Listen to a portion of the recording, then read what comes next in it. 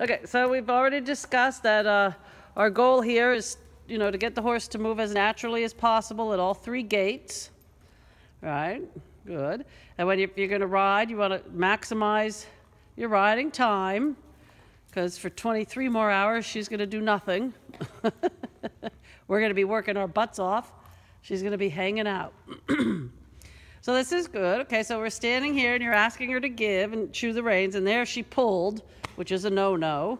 But um, you know, you have to, you, we have to make the decisions. Like, so that's her pulling. That was good. You didn't, you just resisted, and then she yielded and then put her head up. Okay, so um, so let's ask her to give again. So you, so if you think she deserves to stretch, then you open your fingers and you let her go down. Okay, so if she's, so you see she's bending right. So what you're supposed to do is ask her to give with the left rein because she's already giving to the right. now she's looking to the left, okay, so then you would ask her to give with the right rein. So you, you ask the horse to give on the rein that they're stiffer on. So if she's looking left, theoretically she'd be stiffer on the right rein. Good. If she's looking right, she'd be stiffer on the left rein. so we're just Yep, so the left rein's gonna, yep, okay, fine, good. Well, she's thinking about it, but, you know, a little, everything's a little rusty. Okay, yeah, good, there. Now she, she waits. See, she gave, and then she waited. She didn't pull. That's when you let the horse go down, okay? But now you got to get her to come back down again. So you just sit good there. Good. Now now open your fingers and okay, so so what she did was go out instead of go down. Okay? So then you have to ask her again. good. Right? Open your fingers. Right? You gotta right? Can you bring your arms back? Right?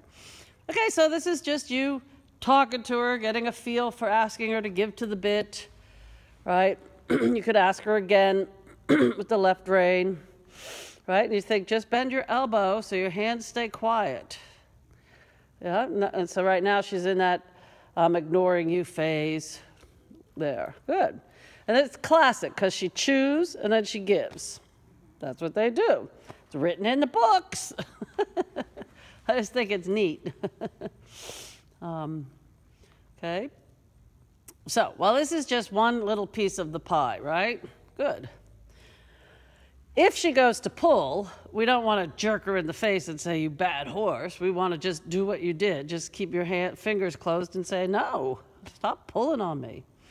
Okay, but if she gives and then stays giving, then you can say, Okay, now you can go down. So she learns to do what's called back off the bit and stay there. Right. Otherwise, horses will just pull the reins out of your hands anytime they want because they're big, strong animals. Okay?